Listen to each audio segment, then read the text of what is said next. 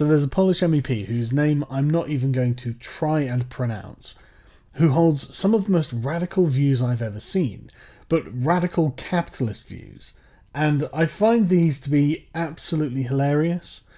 Now, before we start, I'm just going to say I don't endorse anything that I'm going to show you. I find all of this hilarious, and part of it is his delivery, part of it is how blunt his arguments are, and part of it, and a really large part of it, is the reactions he gets. Do you know? Do you know which was a place in the Polish physics, theoretical physics Olympiad? The first place of uh, women, of uh, girls. I can tell you, 800. Do you know how many women are in the first hundred of chess players? I tell you, no one. And of course, and of course, women must earn less than men because they are weaker, they are smaller, they are less intelligent, and they must earn less. That's all. Holy fucking shit. Is that the funniest thing I think I have ever seen in my life? Just some crazed old man standing in front of a parliament full of feminists going, you know, women are just inferior, they must earn less. Just like, holy shit, dude. I mean, that's. I don't agree with that at all. That women should earn. Because the way he phrases it is just as if women should earn less on the basis that they're women. It's just that women earn less. You know, nothing needs to be compensated for. Let people earn the money they earn, and you find that women tend to earn less on average because they tend to work less and in safer jobs, blah, blah, blah. You know, it's not. It's not that he doesn't have the right answer, that nothing needs to be done about the wage gap. It's the way he's got to that answer that is just hilarious to me. And I would be totally remiss if I didn't play you the priceless reaction that he got to that. Mire, señor diputado. Well, according to what you're saying and according to your theory, I wouldn't have the right to be here as a Member of Parliament. And I know that uh, you're very upset and very concerned about the fact that we women can represent citizens on an equal footing with you. Now, I think uh, I need to defend European women against men like you. Thank you very much. And he is just there laughing in their faces. He just does not give a damn about their offence. I find it so hilarious because it's just the Emperor has no clothes. If your argument is, well, I'm offended by that, and okay, but if I don't care if you're offended, jest nas więcej, jesteśmy lepiej wykształcone od mężczyzn i nie życzę sobie, aby pan w ten sposób traktował, traktował nie tylko Polki, ale również Europejki i kobiety na całym ale świecie. pani zamiast To mówić, wstyd. pani, pani wygłasza slogany. Nie, Najwyższa nieprawda. pora skończyć ze stereotypami. Jest stereotyp Ale to dwudziestowieczny, że kobiety i stereotyp, że kobiety mają taką samą inteligencję jak, jak mężczyzny. To jest stereotyp, który trzeba zniszczyć. Jest to nieprawda. Po prostu i zwyczajnie. Tak, bo Wy- jesteśmy mądrzejsi. Proszę panią, no, ja, to ja panią coś powiem. Wie pani co? A co wy się... Nie pani poda mi jeden wynalazek zrobiony przez kobietę. Jeden. Kopernik też była kobieta. Kobiet- Kiri Skłodowska? Ale proszę, wynalazek dokonany przez kobietę. To, to Piotr, Piotr Curie. why is an MEP and a gaggle of reporters arguing about whether men or women are smarter? Who gives a damn? Why is this happening? It's like what he's asking for is rescinding universal suffrage. It's like, no, we're not gonna fucking suddenly. That's ridiculous. and you can imagine how he feels about homosexuality. Nie ma żadnej różnicy z punktu widzenia płciowości między stosunkiem płciowym rzekomo dwóch homosiów, a stosunkiem homosia czy każdego człowieka z, z dziurą w płocie. Nie, Na to, żeby był Panie płciowość, prezesie. na to, żeby, proszę mnie nie przerywać, na to, żeby był, na to, żeby była płciowość, muszą być dwie płcie z definicji. Jak nie ma dwóch płci, to nie ma płciowości. W związku z tym, żeby było małżeństwo, to muszą być dwie płci. Jeżeli małżeństwa mają pewne przywileje, jestem wrogiem e, przywilejów e, dla małżeństw, ale jeżeli mają mieć jakieś przywileja, to one mają je tylko dlatego, że mogą mieć dzieci. Otóż dwóch homosiów nie może mieć dzieci, dlatego nie mogą mieć żadnych przywilejów, no o czym my mówimy. I don't agree with that at all, but it's fucking funny hearing him reason it out. Nadal źle. A trzeba pamiętać, że jest to dwumilionowa e, grupa osób, która nadal w Polsce jest dyskryminowana. Przepraszam. Panie prezesie, dlaczego pan się się tak stało? roześmiał Nie, no głos? przecież, nie, to, to jest tak śmieszne, nie, dwa miliony gejów. No. Dobrze. Nie mówmy o tym panu. Ale za pan dużo czy za mało? Nie, no żarty śmieszne. Ilość, ilość e, homosiów w każdym kraju jest od pół do jednego, do jednego czasami w niektórych krajach półtorej procenta. To jest Przepraszam, kogo? Homosiów. A A pana co to obraża znaczy? takie sformułowanie? Bo ja nie, nie wiem, co to znaczy. Takie pieszczotliwe określenie. No. Ja, ja nie używam pewnego słowa na G, bo mi się z głównym kojarzy, tylko używam słowa homoś. Po polsku mówię, a nie po angielsku. He's like a caricature of an old conservative. I can barely believe this man exists. I tell you what it is, is that he's got the attitude of like a 19th century British imperialist. Uh, But I tell you what, he is woke on a few subjects. The first one is the EU, and he is not afraid to tell them. The EU Parliament is certainly a place for free debate, but a recent statement by an MEP has raised doubts over how far lawmakers can go in their comments. And here's why. Our parliament is to defend diversity. But all the time, if there is a voting, we are voting for unification of everything. You are not for diversity, but for unification.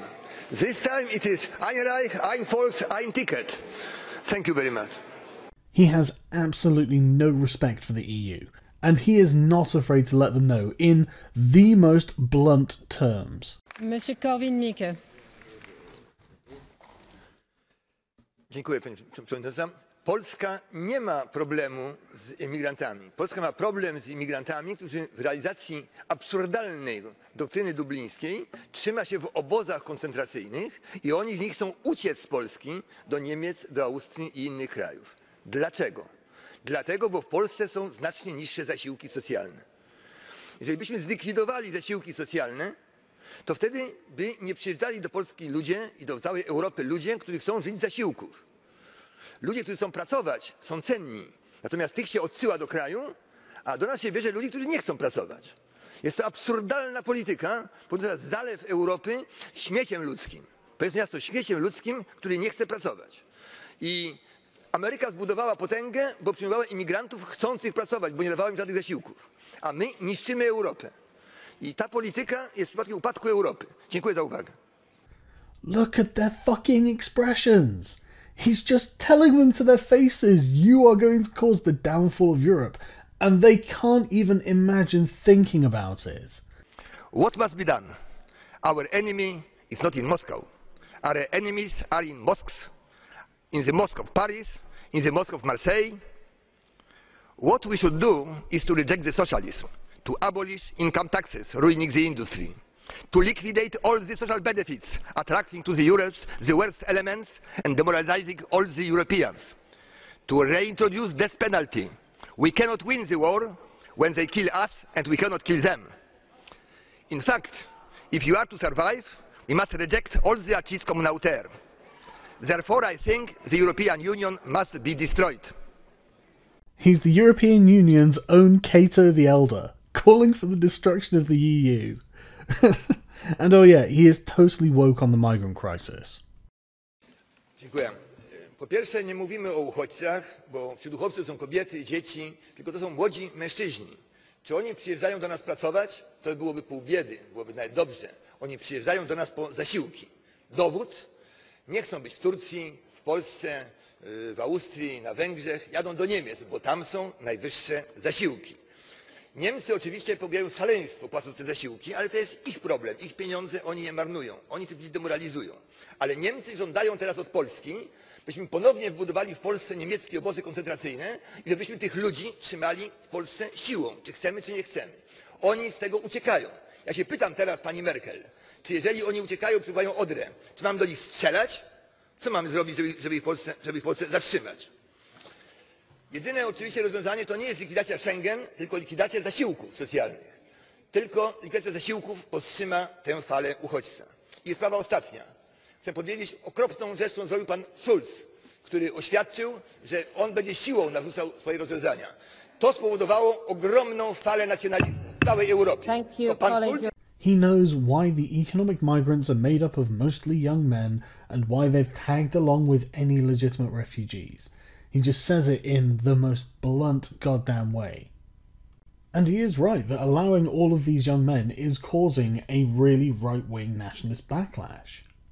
Thing is, he's pretty woke on the Middle East in general, actually.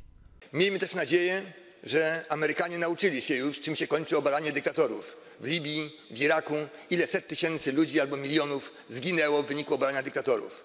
Tylko dyktator może utrzymać taki kraj, gdzie są alawici, chrześcijanie, bahaiści, druzowie, szyici, sunnici w ręku. Myśl o wyborach w takiej sytuacji, gdzie stoi Daesh u, u bram, gdzie, gdzie walczy Al- Al-Nusra, jest kompletnym absurdem. Wprowadzanie demokracji w takim momencie. Jak jest wojna, jak jest wojna, to musi być dyktator. I jak ja tutaj rozmawiałem z Kurdami, przyjechali tutaj, to ja im tłumaczyłem, że muszą dojść do porozumienia z Asadem. Powiedzieli, że nie. Potem pojechałem do Damaszku, tłumaczyłem to ludziom Asada, że trzeba zdać z Kurdami. Powiedzieli, że nie. A teraz już się z sobą dogadują. I w tym jest nadzieja. Ale problem jest w Turcji. Jedyne, co może zrobić Unia Europejska, to przekupić jakoś Turków, żeby nie zniszczyli tego kruchego porozumienia, które się tam yy, w Syrii znajduje. Dziękuję bardzo za uwagę. Kłaniam się. And the thing is, it's not like he's a fascist or something like that. He's actually the like autistic epitome of a classical liberal in every sense and completely unwavering on every point. Ten lead, proszę. Tu liberałowie definiują wolność przez bardzo wąskie pojęcie. Wolność jest przede wszystkim do. Mam prawo być wolny do posiadania bezpłatnej edukacji, do posiadania godnej pracy, do sprawiedliwego podziału dochodu narodowego. Do ładnej kochanki, tak? Najwyraźniej również. O, proszę. Państwo nie powinno mi tego zakazywać, także przez system ekonomiczny. A dobrze, n- państwo nie powinno zakazywać. Słusznie. I nikt panu nie, powinno umożliwiać i nikt panu nie zdobywanie zakazuje, swoich nikt panu potrzeb. nie zakazuje posiadania mieszkania na przykład. A czy ja zakazuję posiadania mieszkania? Chcę, żeby wszyscy posiadali mieszkanie, ty- a nie tylko wąska grupa najbogatszych. Nie, ale pan chce się domagać wolności do. Czyli do mieszkania. mieszkania. To nie jest wolność, to jest, proszę pana, prawo do posiadania mieszkania. To jest możliwość posiadania mieszkania. Wolność to jest, wolność jest zawsze od. Nie ma Nie, wolności to jest do. właśnie negatywna definicja wolności. No tak, tak. którą obalono już w drugiej e, generacji praw człowieka ONZ-u. Więc właśnie, więc proszę pana, pańską deklarację praw człowieka, to ja się nią podcieram co drugi dzień, mam kilkadziesiąt egzemplarzy. I Polska konstytucja zakazuje szanowny- propagowania szanowny niedemokratycznych panie, ustrojów, ja jestem- a obalanie praw człowieka jest niedemokratyczne, więc radziłbym się powstrzymać z nawoływaniami do utworzenia państwa Szanowny, niedemokratycznego. szanowny panie, po pierwsze pan mnie obraża posądzeniem, że ja mógłbym być demokratą. Ja wyglądam chyba normalnie, a nie na demokratę. A po drugie, a po drugie, szanowny panie, chciałbym łaskawie zauważyć, że ja domagam się ty tylko wolności. Wolność, proszę pana, jest od czegoś. Wolny od choroby, od y, czegoś. Natomiast Nie mogę być wolny do, bo to jest błąd syntaktyczny. Pan myli pojęcia.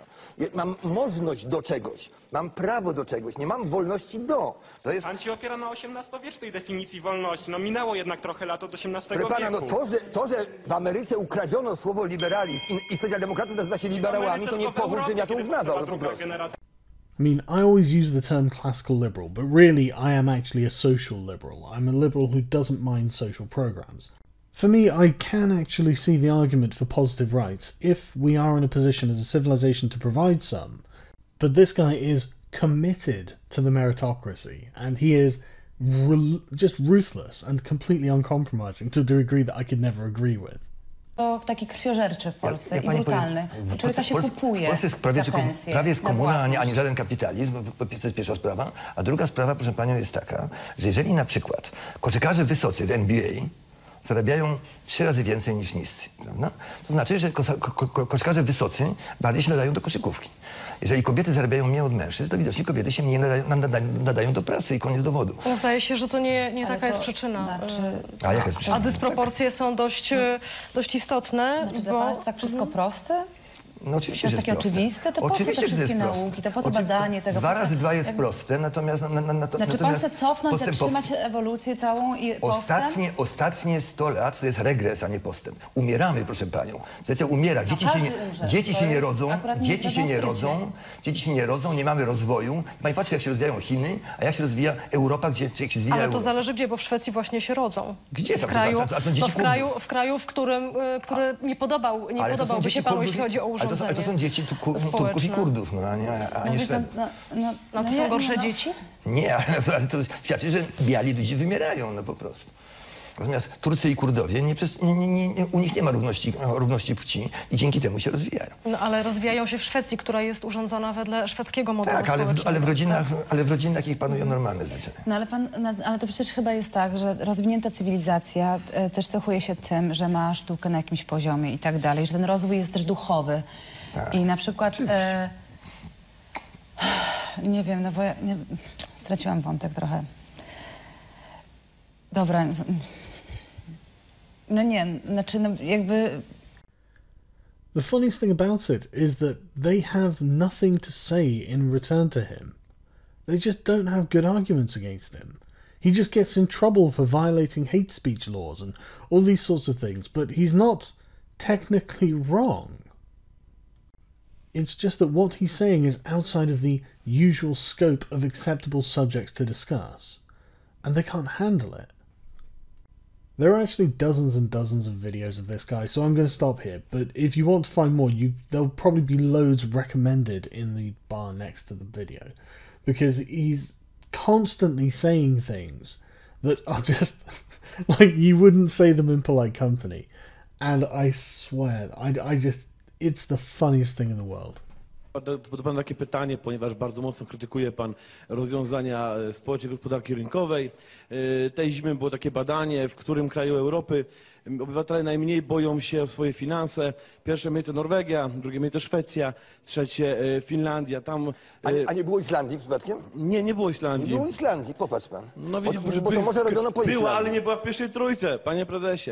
Jednak y, tam funkcjonuje, jak pan to nazywa, ten wredny socjalizm.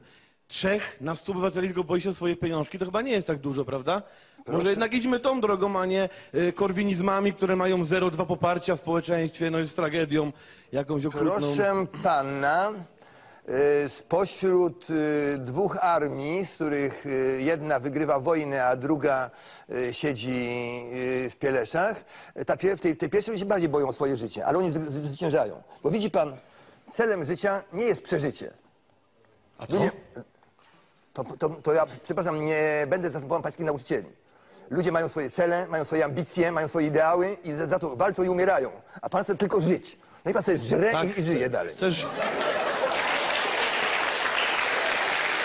Mam nadzieję, że będę miał za coś żreć i żyć dalej, panie prezesie. Proszę pana,